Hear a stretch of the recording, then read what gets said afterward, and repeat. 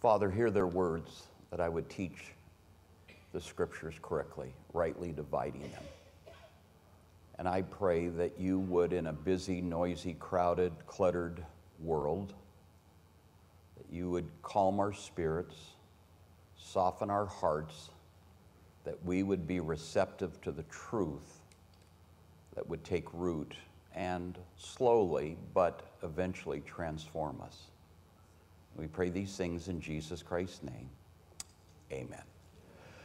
We're going to look at John chapter 15 today. So if you have your Bibles, turn there to John 15. I'm going to say to you at the offset, apart from you coming to faith in Jesus Christ, I believe that John 15 is the most important passage for a believer in all of Scripture. The truths laid out in this chapter um, are deep, um, insightful, scary, essential, and if you get it, it will transform you. And if you don't get it, you will limp through your Christian life. I want you to watch, uh, as we've gone through John, a clip that is of the scriptures, John 15, 1 through 15. Watch it, and then we'll study it together. I am the real vine, and my Father is the gardener. He breaks off every branch in me that does not bear fruit, and he prunes every branch that does bear fruit, so that it will be clean and bear more fruit. You have been made clean already by the teaching I have given you. Remain united to me, and I will remain united to you.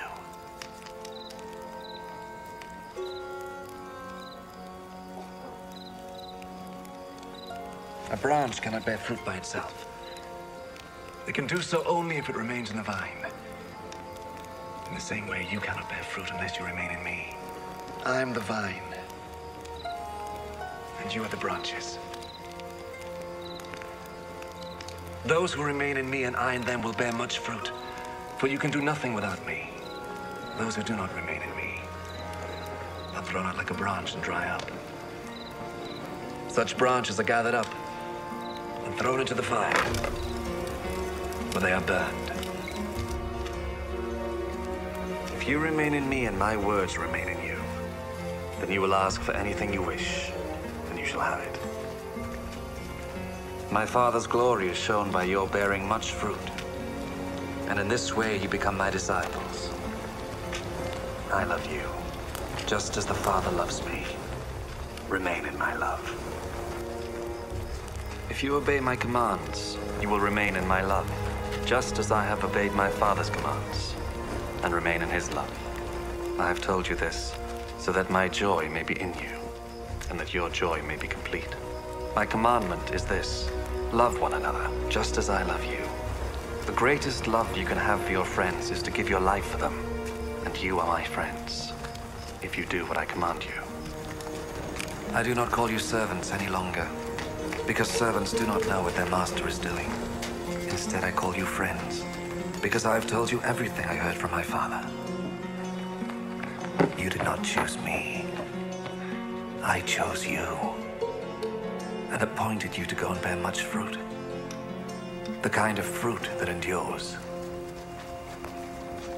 And so, the Father will give you whatever you ask of him in my name. This, then, is what I command you. The last words, last teachings of anyone who's about to die are always most important. I don't know if you've had the chance to go to a hospital and sit with a friend who is hours away from dying, and I can tell you this that they won't be talking about their cars, their clothes, their iPhone. They will be talking about that which is closest, dearest to them. Jesus in John 14 has just left the upper room. And having left the upper room, he's on his way to the Garden of Gethsemane. It's a simple process, it's a walk. And as he's walking, he does what he always does a teaching. That's the beauty of Jesus. Jesus didn't teach people always in a classroom setting, he used life to teach them. And so he's walking along either through a vineyard or along a wall with a grapevine growing. And being the master teacher, he stops and he teaches them from the vine. So it becomes really the last teaching of Jesus. I mean, from this point on, he's going to get arrested and crucified. So this is his last moment, which is obviously, I think, the most important thing that he could teach his disciples and the most important thing he could teach us. And so he gets them to focus and he talks to them. And in these 11 verses, Jesus uses the word abide 11 times. Abide in me, abide in me, abide in me, abide in me. And he drives that theme because what he's going to teach us is this simple truth that unless you and I are abiding in him, we're the branch, he's the vine, unless we abide in him, we can do nothing. We will do nothing significant. That's his teaching. Miss it, and you miss it all. It is what is most important to him. First things first. And the first thing first in any given day is that you know that you're connected, that you remain, that you abide, that you're attached to Jesus. That is the most important thing for you. It's more important than the husband you are. It's more important than the employee you are. It's more important than the church member you are. What is most important in your life, first things first, is that you're connected to Jesus. That's, that's what he is teaching here in John 15. There's a book called The Tyranny of the Urgent. It's a good book. You should read it sometime. It's basically this thesis that it's the urgent that screams at us every day. It's the tyranny of the urgent. There's always something urgent in our life that's screaming for our attention and the urgent isn't always what's most important. It's the urgent that says, pay your bills. It's the urgent that says, get to work on time. It's the urgent that says, and, they, and it continues to scream, speak, yell at us throughout each day. And we live in the tyranny of the urgent when what we should be most uh, concerned about is that which is important. And the urgent becomes superior to the important because it's the important that says, mostly in whispers, a child who says to his parent, Can we go play catch in the driveway? A wife who whispers, I need a hug. Sometimes that which is most important whispers, while that which is most urgent screams, and we tend to go to that which is screaming. And Jesus wants us to remember first things first. In 1973, an Eastern airline, L1011, the largest passenger planes at that time, was flying into Miami's International Airport. Some two miles away, the co pilot pushed the button for the landing gear to drop. And in the cockpit, when the landing gear locks, a light comes on, and he noticed the light didn't come on. And so he told the pilot that he didn't know if, in fact, the landing gear had dropped or not. And so the pilot aborted the, the landing, circled out over the Everglades, and at 2,000 feet got permission to circle while the pilot and the co pilot in this massive plane tried to determine if, in fact, the landing gear had gone down. And in the cockpit, they opened up a little hatch, and the co pilot climbed down to get a visual image of the landing gear to determine, because he could manually drop it if, if, it if in fact it had not dropped. And the pilot put the plane in autopilot and got out of his chair to go look to help the co pilot, and unbeknownst to him, knocked the plane out of autopilot. And this plane, L 1011, circling the Everglades, no lights, the darkness of that Everglades, began to start at 2,000 feet and ever so slow, slowly dropped 100 feet incrementally, but so slowly that it would regain its balance and then dropped another 100 feet.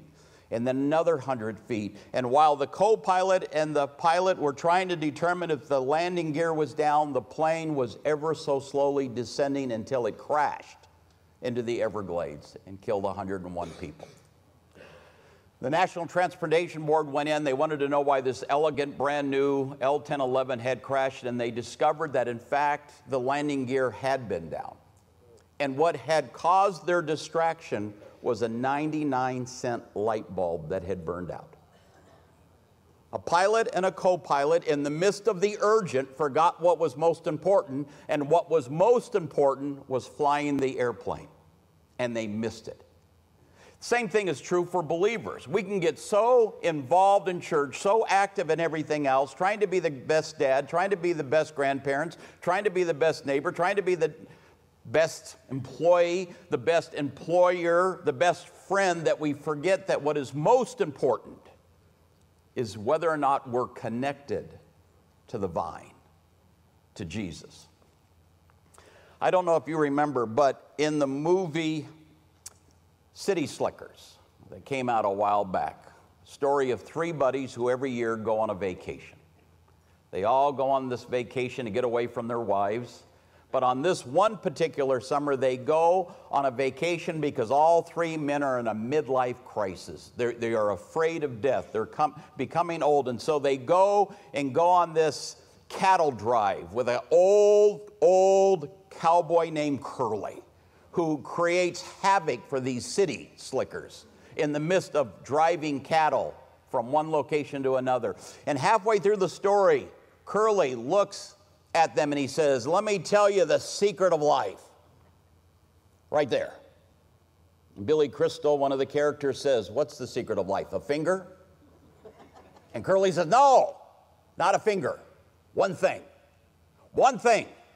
Get this one thing right, and everything else falls into place. Billy Crystal says, Okay, what's the one thing? And Curly looks at him and says, You're going to have to figure out that one thing. Here's the good news for us Jesus tells us what the one thing is. There's one thing that's more important than everything else. And that one thing, more than anything else, is that you abide, you stay connected to, you remain in the vine, Jesus, because it is in that vital relationship that you will produce fruitfulness. So Jesus is walking with his disciples. I think they come across a, a, wall filled with grapevines, and he says to the guys, Look, at here it is. I'm the vine, you are the branches. The branches don't bear fruit, the vine does. The branches are just a means to it. They got that. They got that if they're a branch, that a branch doesn't produce the fruit, it's the vine. It's the branch who simply brings the nutrients to the grapes. And he says, I'm the vine, you're the branches. They understood that clearly. Let me give you an analogy that may help you a little more. It's as if I took all of you and we walked out these doors, this door right here, and we walked over to the gas station, Valero, right? Isn't that right next door? And we walk through the gas station by the pumps, and I say to you, Stop, no, no, no. Okay, everybody, watch this. Listen. Jesus is the pump, you're the nozzle. Take the nozzle away from the pump and it produces no gas. The gas isn't in the nozzle, it's just a vehicle for the gas to leave the pump to get to the car. You're the nozzle, Jesus is the gas pump. Uh, the nozzle, apart from the gas pump, produces nothing. And then I look at you and say, Get it? And you go, Yes, go ahead, do it. You're the nozzle. That's all you are, the nozzle. He's the pump. Let me give you to another analogy that might help. If I said, Jesus is the electricity, the current, the plug, you're the light bulb. And if I were to take the light bulb out, it would not produce any light. I, We could hold it, it would be of no value. It is just there. It needs to be screwed in, attached to, connected to the source of electricity, and when it's connected, it can produce light. Your light bulbs, Jesus is electricity. Now, all I can see are those lights, little circles. Now, you've all left the room, it's black, and I see a thousand drops. So Jesus is going to teach us three things in John 15. I want to we could spend weeks on this. We're going to spend one morning. I'm going to hit three ideas. No, there's much more here. Here are the three truths that I want you to just glance at as we look at it this morning. In verse 1, there's a person of Jesus. In verses 2 through 4, there's the pruning of the Father the person of Jesus, verse 1, the pruning of the Father, verses 2 through 4, and the produce, not product, the produce of the believer in verses 5 through 14. That's what Jesus is going to have us look at today. We are going to look at three elements Jesus, the Father, and us, or the person, the pruning, and the produce of it. So let's go there. John chapter 15, verse 1, Jesus says, I am the true vine. Jesus doesn't say, I'm the vine. Jesus says, I am the true vine. And what he's referencing is this that he is the true vine as opposed to the false vine. And so the question is, what's the false vine? The false vine is the nation of Israel. These guys thought the way to get into the kingdom of God is to be a Jew, to be a part of the nation of Israel. And all the way through the Old Testament, Israel is referred to as a vine. Jeremiah, it's a vine. Psalms, it's a vine. These men knew that when Jesus said, I am the true vine, he was contrasting himself to the nation of Israel. Why is that important? Because what Jesus would say to you this morning is that he is the true vine, and faith and salvation doesn't come through religion, it comes through a relationship with Him. Coming to church isn't going to save you. Opening your Bible this morning isn't going to save you. Religion isn't going to save you. The law isn't going to save you. Jesus saves you. That, that's, that's what he's, I am the true vine. If you want to find life, you find it in me, and life is found in the living, not in the dead. Life is found in that which is living and not that which is material, and yet all of us have this tendency to continue to buy one more thing, thinking that new iPhone 8 is really going to produce the joy that the iPhone 7 didn't. Or if we just get that convertible, that's going to breed some life into me. Or, you know, if we just move from this neighborhood to that neighborhood, then I'm going to experience life. Or if I get the gold chain in my midlife crisis, I'm going to find life, right? We, we, we, we go to that which is dead thinking it's going to produce life. It gives us an, an element of life and energy for a couple of hours, and it, then it becomes something that doesn't produce much. We seek life in that which is dead, that which is material, and Jesus drives us to this element that it is life is found in the living, and in particular, life is found in Him. Don't make the mistake of thinking religion will breathe life into you any more than a Jew thought that being a part of the nation of Israel would breathe life into him or her. Somebody has said this churches grow when the pastor knows Jesus. Churches die when the believers only know the pastor. Churches grow when pastors know Jesus. Churches die when the people only know the pastor. I mean, my job is to get out of the way of Jesus. My job is to continue to move you into not a relationship with me, but a relationship with Him because He is the vine, I'm not. I'm just another branch. Jesus says, I am the true vine, and my Father is the, dry, the vine dresser. Second role in this passage. Jesus goes from him to the Father, and he says the Father is the vine dresser. And as the vine dresser, the Father does two things now. Catch them. He's either cutting or cultivating in this passage. Verse 2 Every branch in me that does not bear fruit, he takes away, and every branch that bears fruit, he prunes so it may produce more fruit.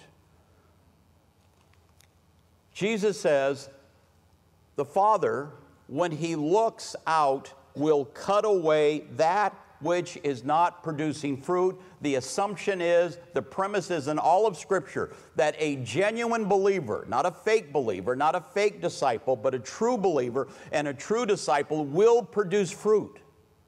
And so I say to you this morning, in love, in humility, if your life isn't producing fruit, I would take some time and ask yourself are you connected to religion? Are you connected to a relationship with Jesus? Because it's easy to make the mistake. I've said it before and I'll say it again. Just sleeping in a garage doesn't make you a car. and I will say to some of you, just sleeping in church doesn't make you a true believer. It, because all the way through John chapter 5, John chapter 6, John chapter 6, there are believers, 9, there are believers and disciples that are referred to as leaving Jesus. The teaching got hard. He stopped giving away the food. He closed down the buffet line. And they decided if I'm not going to get free food, I'm out of here. If the teaching isn't going to be easy, I'm gone. If you're not here to make me happy, then I think I'll find another church or another religion. I'm gone. And Jesus, all the way through the Gospel of John, is watching people who are fake believers and fake disciples abandoning him. It happens all the time. So, the first responsibility of the father as a vine dresser is if he sees those that are fake believers and fake disciples, he will cut them away. Not me, Jesus. But then Jesus goes on and says, Every branch that bears fruit, he prunes so that it will produce more fruit. Because the key of this passage is how do we create a fruitful life? How do we produce fruit out of our life? How do we produce more fruit? And Jesus says the dry, the vine dresser, the Father, will come along, and even if you're producing fruit, he will prune you.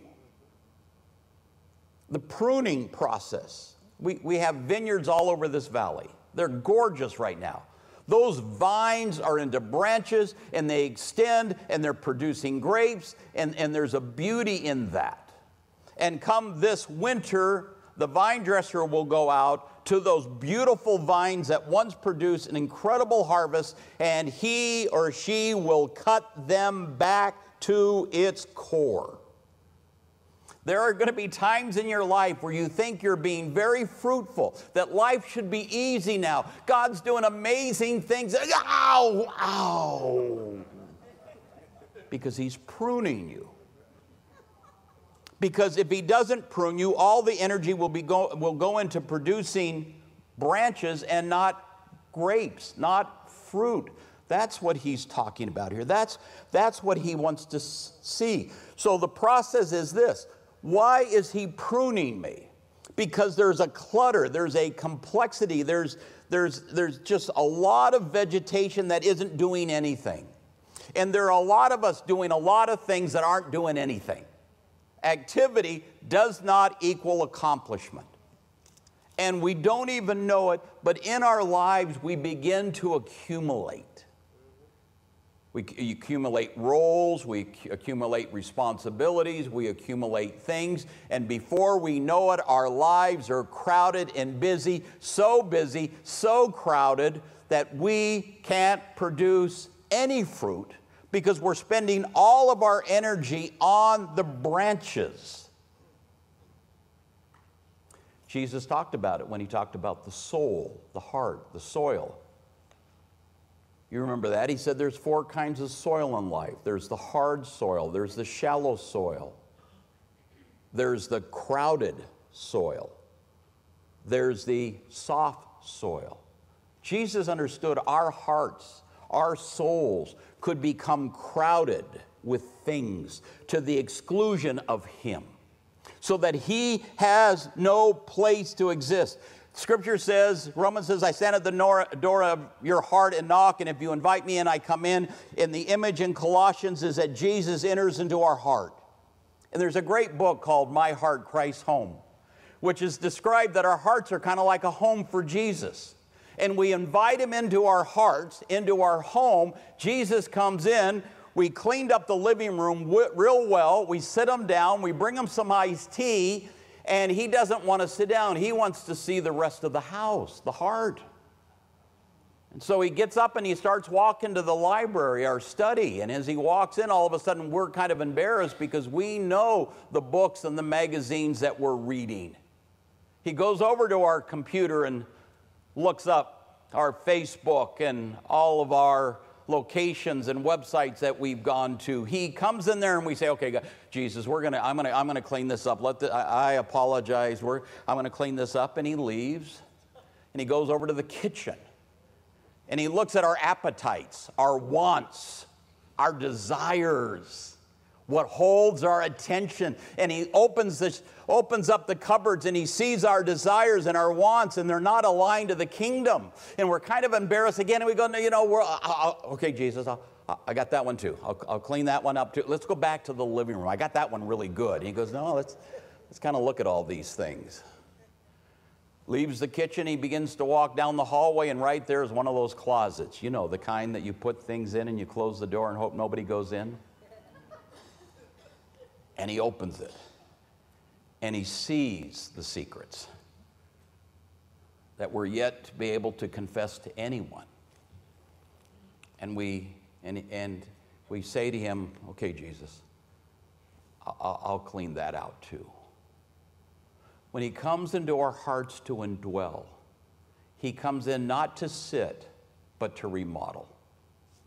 And the remodeling is the decluttering of our lives. That's, the, that's what the pruning is all about. Hebrews 12 says, Get rid of every weight and sin that entangles you, that stops you from running fast. That, that becomes the issue here. It's an easy thing to get this wrong. Martha got it wrong, Martha and Mary. In Luke 10, you know the story, I've said it before. Martha is cleaning the kitchen. She's making dinner for Jesus. She's making dinner for Jesus. And she looks out into the living room, and her sister Mary isn't helping her. And she does all the things we all do when we want somebody to help us, but we don't say it. We give them the look. we walk out, look at them. You've done that to your husband and wife. You go back. Martha is doing everything, and where is Mary? Mary is at the foot of Jesus listening. And Martha can stand it no longer. She is so angry with Mary not helping her in the kitchen. She says to Jesus, Not Mary, but my sister doesn't help me. Tell her to help me. And Jesus' response to Martha is Martha, Martha, you're preoccupied by the wrong things. Mary gets it. Mary knows what's most important. We're human beings, not human doers.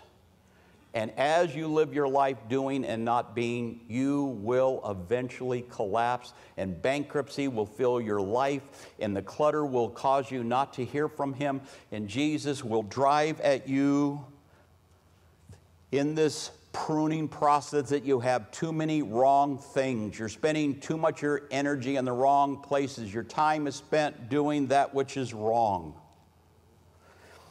I taught a lot of missionaries every year, hundreds that would come in, some of which in the years would leave the faith, even as missionaries. They got, exa- they got exhausted in the kitchen. It's easy. I have friends that are pastors that got exhausted in the kitchen, in the doing for Jesus rather than being with Jesus. And I wrote this parable for missionaries, but I write it to you. Carrie died last night, a surprise to us all. Who would have ever thought a person whose job it was to feed the poor would die of starvation? Carey had a heart as big as his truck. He would get up early and skip breakfast to get to his first town. He would miss lunch so he could squeeze another community, and he'd pass over dinner to get to one last town before nightfall. Carey skipped the important for the urgent. Knowing Carey like I did, he must have thought the process of feeding the poor would feed him. It didn't. It doesn't. I'm going to miss Carey a lot, but not nearly as much as his towns will. You, I say to you, have one responsibility, one important thing that I would encourage you to do, and that is to stay connected to the vine. So let's look at the third ingredient the person of Christ, the pruning of the Father, and the producing of the vines or believers. Verse 4, John 15. Abide in me, and I in you, as the branch cannot bear fruit of itself unless it abides in the vine, so neither can you unless you abide in me. I am the vine, you are the branches. He who abides in me, and I in him, he bears much fruit, for apart from me, you can do nothing. Here's a big truth if you're disconnected from Jesus, Nolan, while you're worshiping music up here, it produces nothing for him. Larry, if you're disconnected from Jesus, no matter who you're caring for, what grandchild you're caring for, it produces nothing. My life speaking, if I am disconnected from Jesus this moment, it will have no effect because Jesus says, apart from me, you can do nothing. You can help all the widows you want. You can feed all the poor that you want. You can do all the things that you want. But if you, in the process of doing all of those things, have neglected that which is most important, to be abiding in the vine, connected to Jesus, then all that you do will be for naught. Now, here's the beautiful truth. Here's the simple truth I want you to hear. Big truth. Give you a moment because I want you to catch up with me.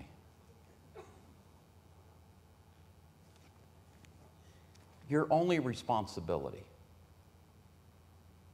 is to abide. That's it. Everything else people adds to your responsibility, you, you shake them off. You take them off your to-do list. The only thing the the branch has to do is abide because when the branch abides, then fruit is produced through them. That's all. That's, that's, that's, that's just brilliant. Of all the things that people are going to tell you to do in the church and all the things that you ought to do as a Christian, I say, forget it all. Here's what you need to do you simply need to stay attached to Jesus. And if you're attached to Him, He will produce His life through you. And if you're detached from Him, you are dead. I, I, think when Jesus was walking along, when he got to the branch illustration that, that is broken off, I think he probably looked at a ground of some branch that had been cut off and it's dying, and he goes, Guys, that's never going to produce a thing because it's no longer connected to the vine.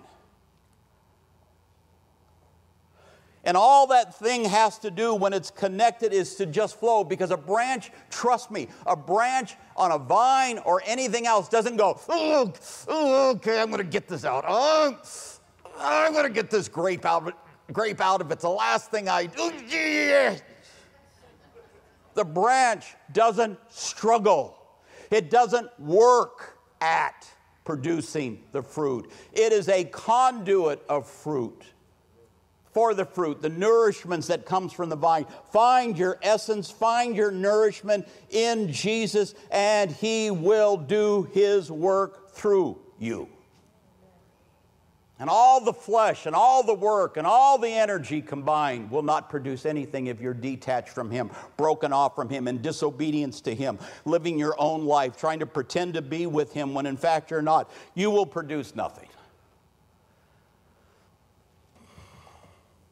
So, what's the fruit that He wants to produce through us? I'm going to give you a couple in closing. Go to Galatians chapter 5, verse 22. You know it well, but I don't know if you know it in the context of this. Galatians 5:22. Jesus says, "You remain, abide in him, he will produce a fruit through you." So what is the fruit that he wants to produce through you? Here's the fruit. Galatians 5:22 But the fruit of the spirit is love, joy, peace, patience, kindness, goodness, faithfulness, gentleness, self-control. Against such things there's no law. And all you know by now that fruit isn't fruits of the spirit, it's fruit of the spirit. Love, joy, peace, patience is all one fruit that when we are attached to him, his spirit produces through us. Let me give you a second fruit. Go to Colossians. Galatians, Ephesians, Philippians, Colossians. Go to Colossians 1:10. A second fruit that you will bear if you stay attached to him. Colossians 1:10 says this, so that you will walk in a manner worthy of the Lord to please him in all respects, bearing fruit in every good work and increasing in the knowledge of God, strengthened with all power according to his glorious might, for the attaining of all steadfastness and patience, joyfully giving thanks to the Father who is qualified to share in the inheritance of the saints in the light.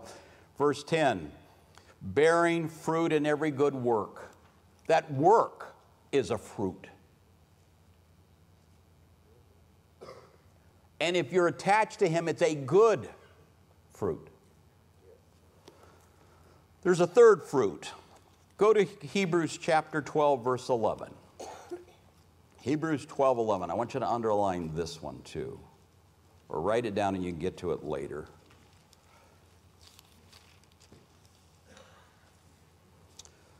Hebrews 12, 11 says this.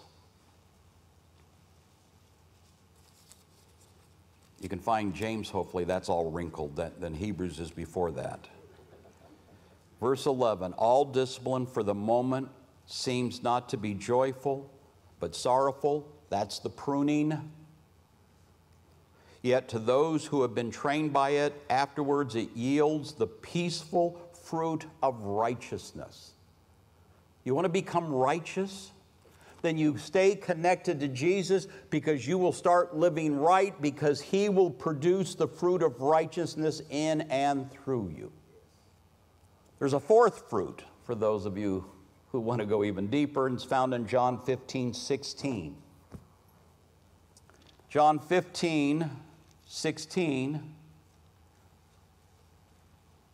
says this You did not choose me, but I chose you and appointed you that you would go and bear fruit.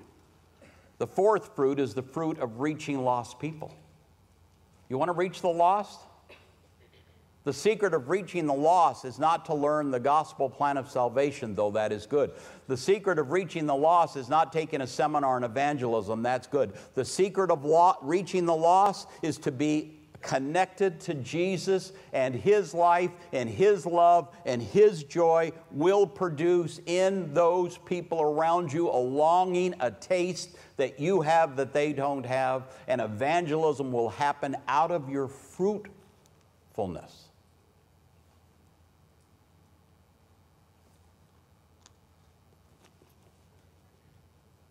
So, what's this?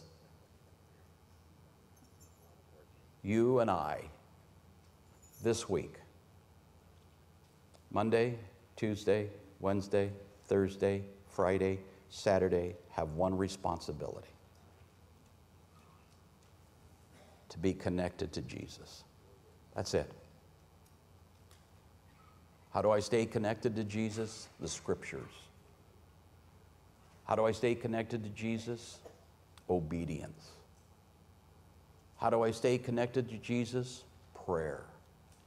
But your responsibility and my responsibility is first and foremost to be a father, a husband, a mother, a grandparent, an employee who is first linked, abiding in, connected to Jesus, and who will live their life this very day because of the pruning that has gone on in our lives to produce fruit that we never imagined we could produce in our lives. One thing. That's all you have to remember this week. One thing. Jesus said it 11 times Abide in me. In the book, In Search of Excellence, Tom Peters evaluates companies that were excellent, and he found out that when he took the top 100 companies, they had one principle that drove them. They all focused on the basics. Here's the basic abide in Jesus. The excellent, excellent companies in a complex world were about one thing simple over the complex. So when you get confused in your faith journey and try to figure out what you should do and how you should go and, and whether this guy told you you got to do this and dress that way and say these things and not say these things, abide. Be connected to, be a branch that simply rests. And you say to Jesus, Jesus, I'm going to attach myself to you. And if I have any capacity to love, any capacity for peace, any capacity for joy, any capacity for anything, it will come as a result of the Holy Spirit indwelling all of my life, not just the living room. I want people to see you. I'm tired, Jesus. I'm tired of doing. I just want to be a conduit. I just want to be a nozzle. For a season, I just want to be a nozzle and I want to see fruitfulness come, not because I made it happen, because, but because you made it happen through me. That's the teaching this morning.